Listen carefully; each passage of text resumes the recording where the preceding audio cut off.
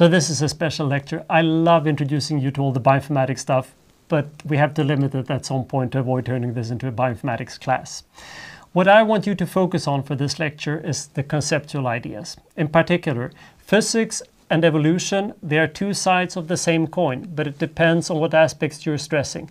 But you need to be aware of both and in particular need to know where you should ask a colleague who might be better on the other aspect. The other part that you should think of is that many of the concepts we introduce are similar, but they might be interpreted in different ways. In physics, the domains we talked about, the units that folded, right? I introduced them primarily in the sense of arguing that those were the stable units. It would be difficult to be smaller and it would be difficult to be larger for them to fold efficiently. In terms of bioinformatics, we rather tend to interpret domain as the units of evolution. I might steal a domain from another protein, such as that voltage sensor. It turns out that they are in most cases the same type of domains. And that makes sense, right? If the individual units that I steal from another fold folds independently, they're going to be stable in my protein too. While if they were somehow intermixed with everything, in general, those mutations wouldn't work.